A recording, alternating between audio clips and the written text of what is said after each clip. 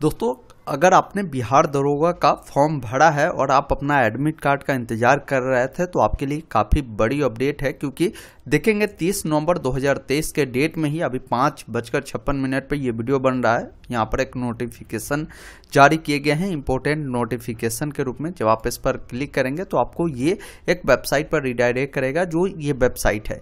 यहाँ पर बताया गया है कि आप सभी का जो एडमिट कार्ड है एक दिसंबर 2023 यानी आज रात 12 बजे के बाद एक दिसंबर हो जाएगी तो 12 बजे के बाद इसका जो लिंक है, ये अपडेट कर दिया जाएगा। आप सभी कैंडिडेट अपना एडमिट कार्ड आज से ही डाउनलोड कर पाएँगे रात से।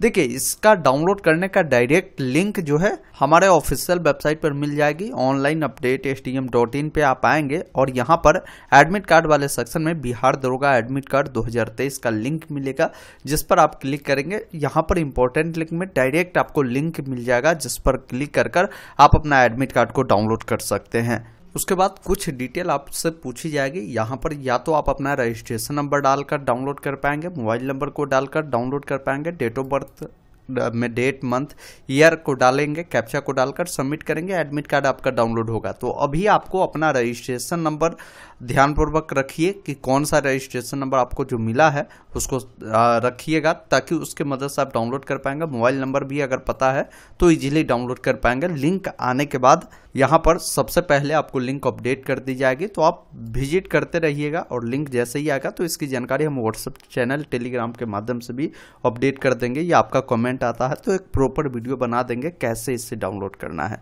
अपडेट पसंद आ हो तो इसे लाइक शेयर कर दीजिएगा चैनल को सब्सक्राइब कीजिएगा, इस प्रकार की अपडेट के लिए। धन्यवाद।